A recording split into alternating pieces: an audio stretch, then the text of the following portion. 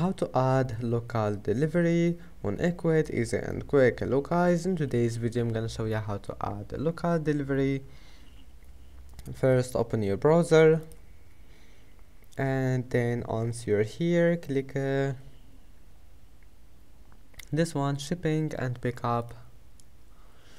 And uh, scroll down. Here we'll find the local delivery. Now click on it and that's it. Select anything you want here.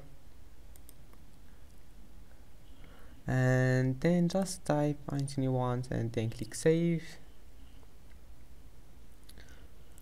And that's it. I hope that can help you and that's it for today's video. If you like this video don't forget to like and don't forget to subscribe and see you in the next video